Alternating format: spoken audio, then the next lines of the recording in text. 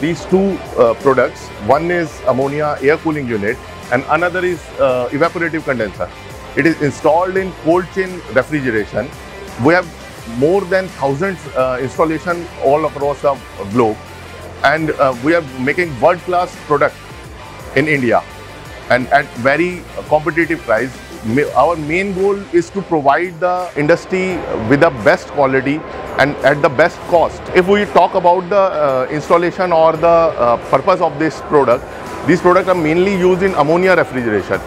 We have uh, many installation in UP, Bihar, Calcutta, uh, Jammu Kashmir and uh, across the India in Kerala, etc.